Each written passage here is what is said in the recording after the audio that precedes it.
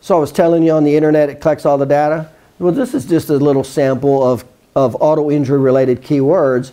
Well, which ones are most searched? So this is up from, from highest search to lowest search says injury, claim, car accidents, car accident, accident car, accidents, injuries, automobile accident lawyer, personal injuries, accident in, personal injury. My point is, we, we can find out the words that they're searching. I can then take those words that are the high probability words, put them into my content that's called SEO, search engine optimization.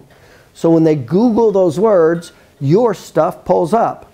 That's what we do. That's, that's how internet marketing works. Not only does it pull up, but you better have the right content. In other words, if they want to, if they want A, B, and C, your content better say A, B, and C. But that's never what chiropractors do. What do chiropractors do? They start talking about chiropractic. and it never should be like that.